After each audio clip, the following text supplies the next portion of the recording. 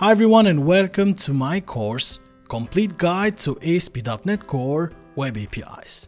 This course will teach you all you need to know to build web APIs from scratch. You will start by first learning what a web API is and why web APIs are so important, and also how to set up a web API development environment.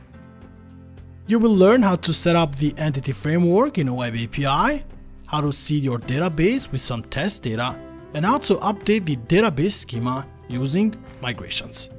Then next, you'll learn about the three database relationship types, the one-to-one, one-to-many, and many-to-many.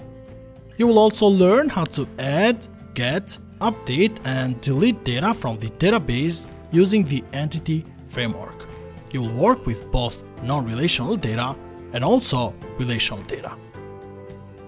In this course, you'll also learn about the Web API versioning methods, the action return types, and how to handle errors and exceptions locally and globally.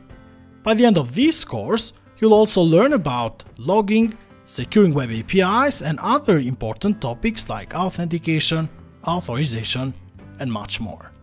Throughout this course, if you would like to follow along while I'm coding, you can get the source code from this GitHub repository.